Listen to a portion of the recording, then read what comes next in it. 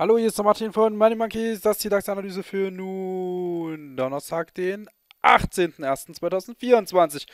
Ja, und unser DAX, der ist hier weiter nach unten gerutscht, aber so richtig auch nicht. das ist ein Rindvieh ohne Ende, oder? Also, ich weiß nicht, was ich dazu sagen soll. Auf Tagesebene sieht es ja noch bekloppter aus, vor allen Dingen, wenn man sich den Xetra-Chart anguckt. Der hat ja nun Rolle zu zwei grüne Kerzen. Ähm, beide Male Tagesschluss auf Tageshoch. Aber auch das Ding, also was das denn? das ist. Das ist gekonnt abgeschüttelt von allen, die hier irgendwie mit dabei sein wollen. Das ist unsportliches, unsportliches Verhalten, kann man sagen. Aber ist halt so, ne? Mit Gips kriegst du immer die Leute ein bisschen aus der Reserve gelockt, du kriegst sie provoziert, dann werden sie unruhig, dann haben sie Angst, sie verpassen irgendwas, ähm, obwohl sie eigentlich auch nicht wirklich gar keine richtigen Einstiege bekommen. Und dann äh, werden die gereizt und dann sind sie bereit, da ein bisschen mehr aus dem Portemonnaie zu zücken, geben höhere Einsätze rein, springen irgendwo instinktiv, reaktiv einfach hinterher, lassen sich von ihren Emotionen leiten, die durch sowas angekitzelt werden. Und dann hat der Markt auch wieder das, was er will. Wahrscheinlich zieht es nur darauf ab, keine Ahnung. Ähm, also schon ein bisschen asoziales Verhalten. das muss man einfach mal so sagen. Kannst du jeden Tag hier Gap runter und dann den ganzen Tag zur Seite kleben bleiben. Äh, wie, wie, wie assi ist das dann? Das, das, das gefällt mir auch nicht. Also das muss ich schon so sagen. Ähm, vor allen Dingen dann auch hier nahezu Tageshoch zu schließen. Sehr unbefriedigend für alle, die da irgendwo noch Short drauf gegangen sind. Wir hatten es heute schon so ein bisschen im ersten Update geschrieben, als er schon an der 424 da angekommen ist, dass es auch einfach wieder den ganzen Tag zur Seite gehen kann. Dann ist es den ganzen Tag zur Seite gegangen. Aber er hat hier oben rausgeschlossen. Was er aber nicht gemacht hat, ist hier über die 440 drüber zu gehen. Das war im letzten Update bei uns nochmal Thema gewesen. Da hat man gesagt, wenn er denn heute nochmal schaffen wird, über die 440 drüber zu gehen, dann schafft er das auch hier nach oben nochmal ranzuspringen. Ähm, ist für euch jetzt quasi für die Morgenanalyse interessant für den nächsten Tag, weil man letztendlich darauf jetzt aufbauen kann. Ähm, so wie wir das hier gestern gemacht haben, könnte man das Ding nämlich jetzt hier wieder runterziehen und sagen, okay, wenn es der dann nochmal hoch schafft, wäre es denkbar, ran an den Channel, dann hier so ein bisschen Entscheidung halt, ne? Der Bereich zwischen 480 und 530 ist dann Entscheidungszone.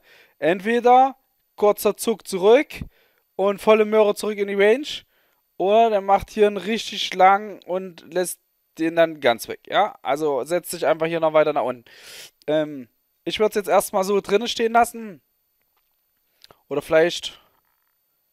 Vielleicht machen wir es anders. Wir machen es anders. Wir machen es zweigeteilt, weil das ist will auch nicht zu long den Peter malen, weil das haben wir gestern schon lange genug erklärt, dass das momentan sehr, sehr, sehr, sehr, long verstanden wird, meine Meinung. Ich aber das gar nicht möchte, dass ich so long verstanden werde, äh, weil ich schon aktiv versuche, neutral die Perspektive zu schildern. Und es stören sich sehr, sehr, sehr viele momentan daran, die, dass ich das immer wieder als politische Flagge bezeichne und dem Markt da oben Raum gebe. Und die wollen das nicht. Die wollen das nicht hören. und dann wird halt mit dem Martin geschimpft. Ist eigentlich auch nicht richtig, ja. Ich bin ja eure neutrale Instanz, ähm, um das aufzuzeigen, was ihr vielleicht übersehen könntet ja, wenn man das äh, zu einseitig betrachtet und zeige deswegen immer auf beiden Seiten, wo sind die Potenziale, wo kann es hingehen, wie mit unserer 330 hier das Bewegungsziel, ja, ist aber auch nicht wieder getroffen, wieder knapp vorbei. Das ist uns hier unten damals, glaube ich, auch schon so gegangen, das ist uns hier schon gegangen, das war auch hier schon der Fall.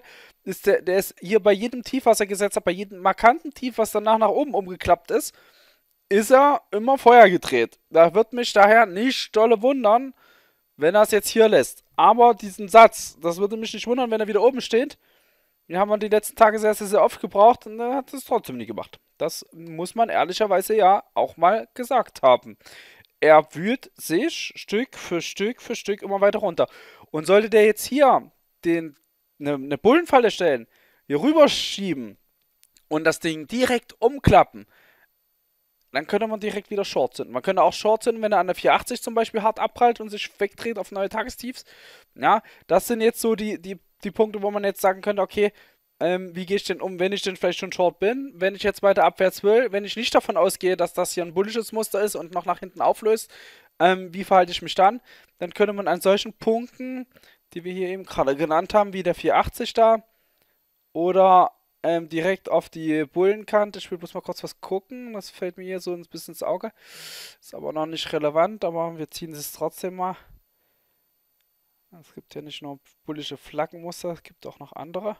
So, wir lassen es einfach mal kurz so noch drin. Das will ich mir bloß mal ein bisschen im Auge behalten, ja, dass das nicht übersehe und vergesse. Diese untere Kante, die liegt jetzt am mit, halt, war der Donnerstag haben wir, im Bereich um 300, 310.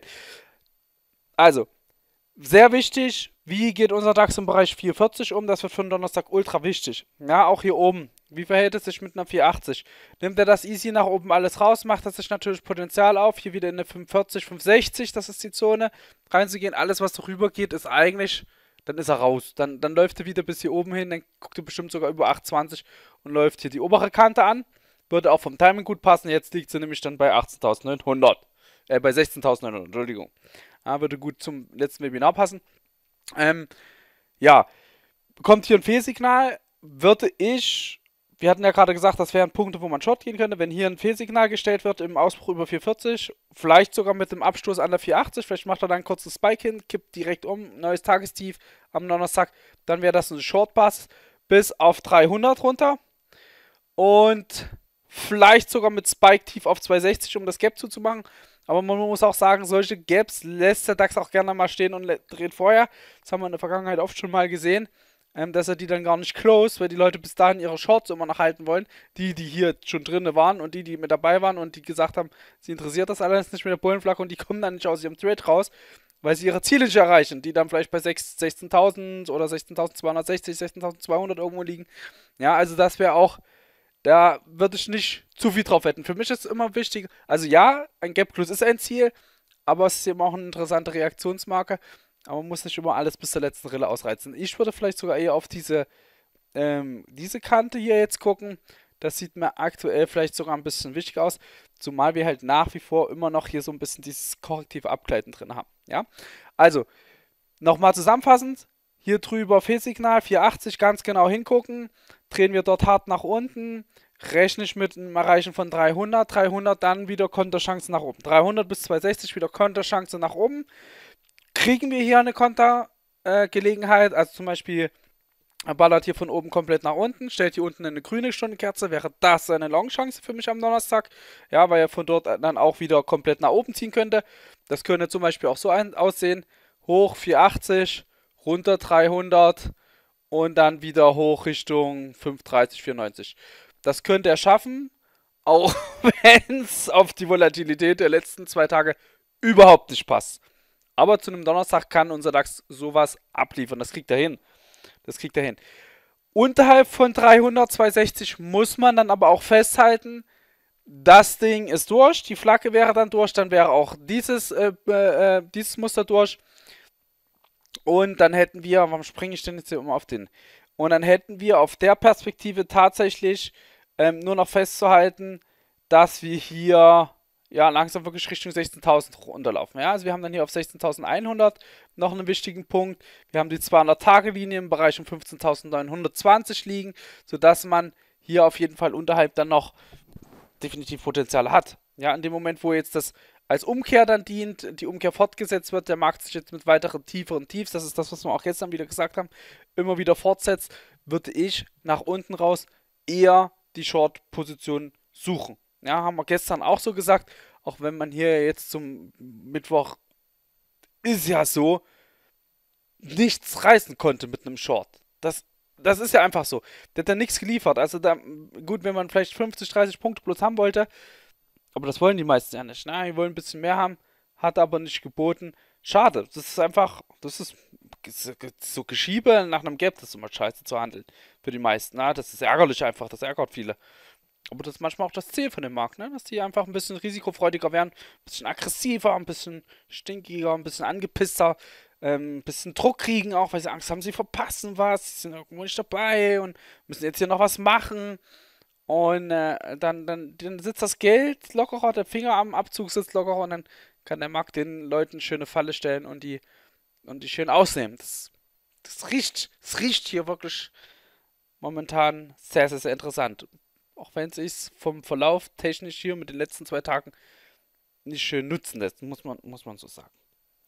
Ja, aber Ich würde 480, 440 aufpassen. Alles darüber zeigt für mich nochmal in dem Bereich 45, 65, gucke ich mir genau an. Alles auch darüber zeigt eher nach oben, eher nach oben, wieder Richtung 700, Richtung 800.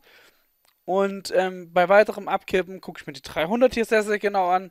Schöne Chance nach oben, 300 bis 260. Und alles unter 300, 260 geht dann runter in die 16100, runter in die 16.000. Ja, und dann kann man hier auch mal Retracement-Ziele anlegen. Also, das, guck mal, das, das wäre easy erreichbar. So eine 200-Tage-Linie dann auch. Da schön unter das letzte Tief nochmal drunter.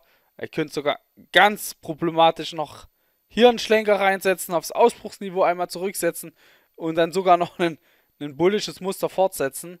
Ähm, hier wieder aufdrehen. Gucken wir uns aber alles Stück für Stück an. Ja.